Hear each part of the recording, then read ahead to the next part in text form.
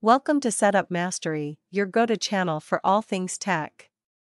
Here, we explore the latest gadgets, unbox cutting edge devices, and provide step by step installation guides to help you optimize your setup.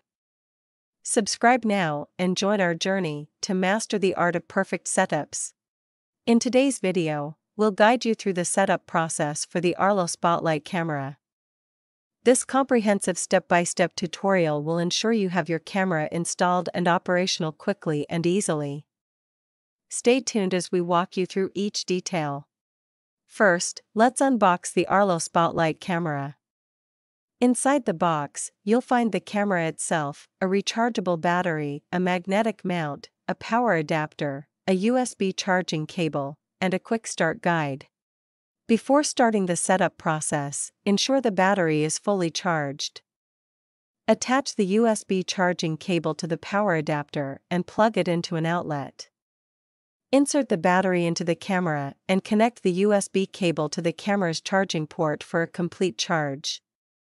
While waiting for the battery to charge, download the Arlo app from the App Store or Google Play Store.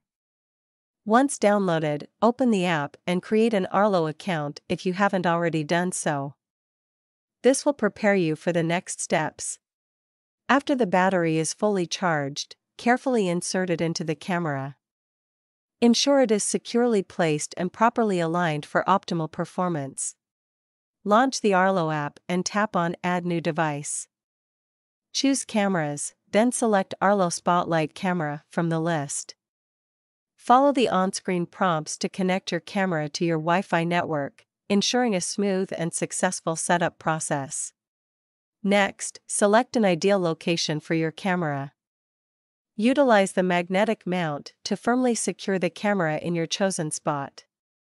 Position the camera at a height of at least 7 feet above the ground and angle it slightly downward for optimal coverage and performance. Now, let's configure the camera settings in the app. Customize motion detection sensitivity, set specific activity zones, and adjust the spotlight's brightness. Take a few moments to explore the app's features and personalize the settings according to your preferences for optimal performance. Finally, perform a test to verify that your camera is functioning properly. Walk in front of the camera to ensure the motion detection and spotlight are working as expected.